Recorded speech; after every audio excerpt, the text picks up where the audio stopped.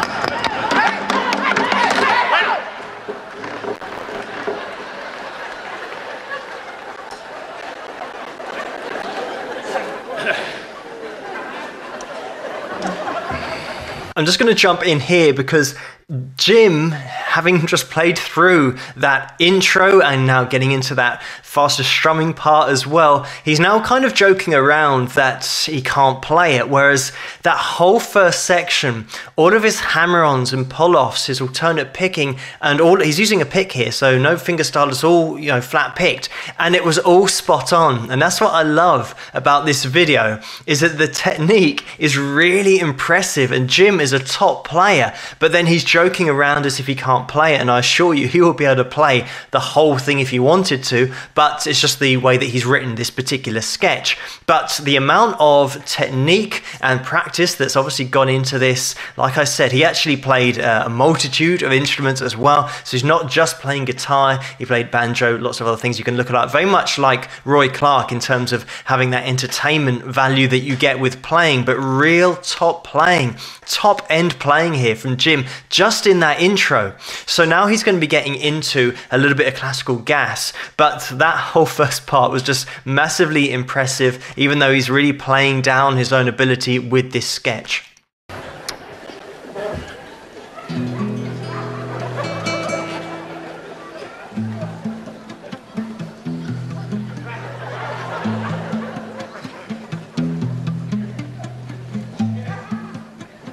Fella called the cops. He said, I want to report a dead man on my front porch.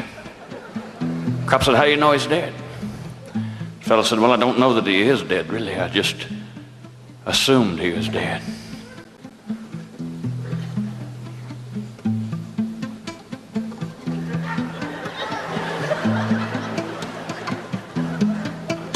Just going to jump in here. We're going to hear this joke. I've already heard it, but I'm going to try not to smile because it's just funny when we get to the punchline. But the way that he's playing at the moment, just picking up and down the strings and applying a palm mute. So there's still a bit of technique going on here, guitar wise. And generally, you're bringing that palm mute to change the dynamic within a song to get that softer and almost punchier sound to your picking and in this case, he's just moving up and down the strings. And the reason that he's putting that palm muting is because he's talking over the top. So he wants the guitar to be quieter, but he still wants that backing. And it's really great because he's actually having his own backing going on to the story that he's telling, to the joke that he's telling. The first thing you do when you pick up a guitar isn't learning how to palm mute. You know, it's one of those things that comes further down the line once you want to get expression into your playing. But Jim goes straight into this palm muting to now make it clearer for this little story that he's telling over the top. He'd been laying out there now for about a month.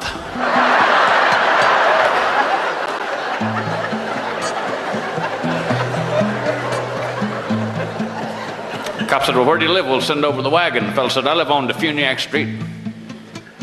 Cop said, How do you spell it? The fellow said, D E F E. Or D U F E Eniac. D Funi, D E Funi. Let's see, Funi. See D.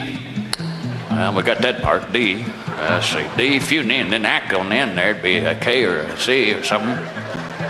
Maybe a C and a CK. act, I don't know. So there's D and then Funi and then act. Funi though, there's Funi, there's the one. Funi. I'm gonna have to call you back.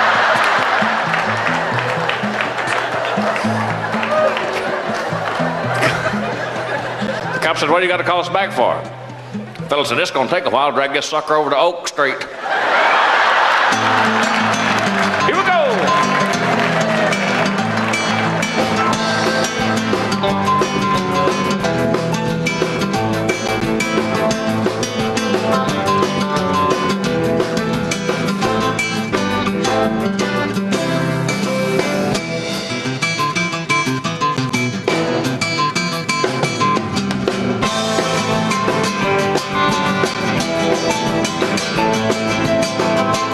Going to jump in here just to have a quick word about Jim's technique here. Obviously, you know, it is great entertainment the fact that Jim could really deliver those jokes and be so entertaining whilst playing. But then, as soon as we're now getting into classical gas, you can see that right hand, the way that he's still picking with that thumb and first finger holding the pick, but that third finger isn't doing the top section, it's the second finger that's coming in. So you can have a little look at that hybrid technique that he's got going on there. Again, it's not basic stuff, this is really great playing, and the way that he's really picking it out is so melodic. The band is absolutely spot on as well throughout the whole thing, but there's a hell of a lot of technique going on here that you might not get, and people might not really understand how good this is from Jim because of the fact that he's telling a joke and it's all a bit light-hearted. But now we're actually getting into some seriously cool playing, and it's going to get even better in a second.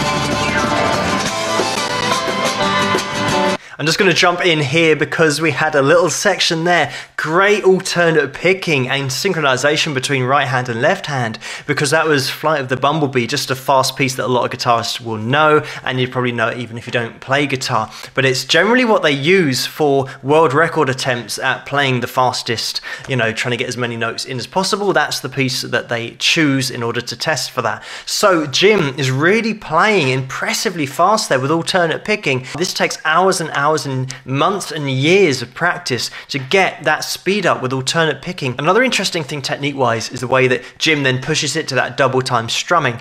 The mistake a lot of people make when they try and speed up their strumming is they keep the same strumming span that they've had with their normal rhythm. But if that arc is too wide, you're never going to get it any faster. You have to make that arc smaller in order to speed up that strumming. Here's a great example. If you want to rewind it, you can see Jim is really concentrating concentrating on the two, three, and four, kind of the middle of the guitar, just those middle strings, so that he's not covering a wide distance of going up and down six all the time. So Jim absolutely has that down and nails that faster strumming part. Let's just listen to the last part of this performance.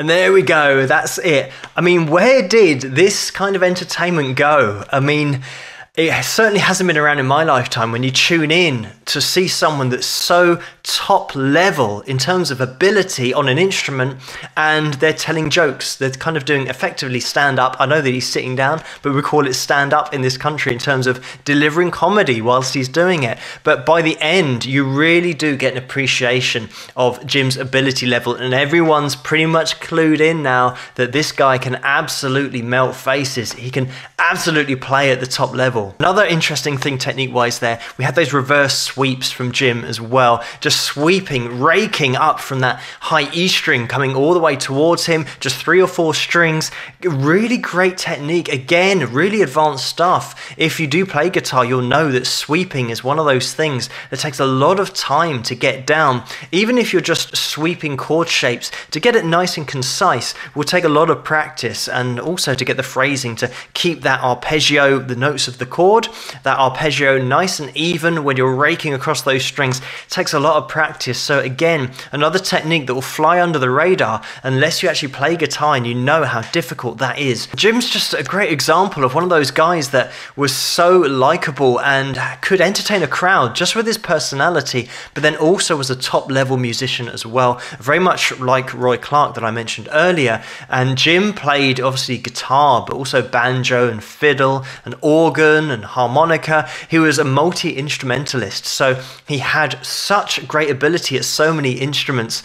And these kind of guys, I don't think are around anymore, especially not on TV. You can't just tune into a TV show and the guy presenting it is the guy who's actually got all the talent as well. The presenters could introduce an act and they could join in and be just as good, if not better, than the actual act that they're bringing on stage. So it has such a wide skill set. I've said this before. This video is a really cool one, light-hearted, but it's packing a punch when you look into those details of technique and ability that Jim has got. But thank you so much for suggesting this video for me to take a look at and keep those suggestions coming in the comments below. Let me know what you guys think. And if you like this video, please give it a thumbs up and subscribe. And I'll see you guys at the next one. Rock!